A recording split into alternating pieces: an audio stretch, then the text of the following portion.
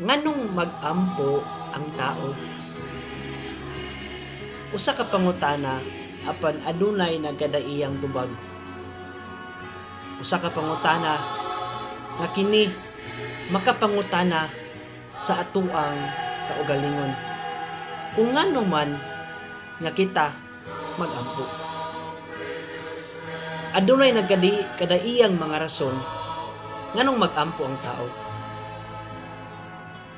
unang-una nganong magampo ang tao? Tungod kay siya nagapangayo. Ug nganong mangayo ang tao? Mangayo ang tao tungod kay nakita niya siyang kaugalingon nga naapay bulang ug nangayo siya sa Ginoo aron ang Ginoo maoy mupuna sa iyang kulang many of us people of God many of us believers of Christ we ask everything to God. We ask anything to God. And yet until now hangtod karon wala pa nagrant sa Ginoo. Makapangutana ta naminaw ba ka ang Ginoo sa tuwa? Di ba? Apan usa ka tubag. Ang Ginoo nakadungog God hears. Tungod kay siya ania uban kanato promise to be with us. Ingon siya ako kanunay manguban kaninyo Dira sa ebanghelyo siya nag-ingon, kung adunay duha o tulo nagatigom sa akong ngalan, aduna ako uban kaninyo.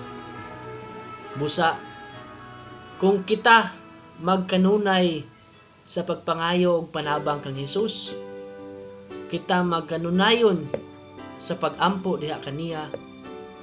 Surely, God hears and God grants.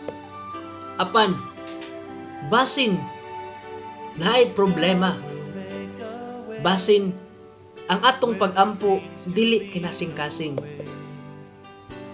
so unsa di ay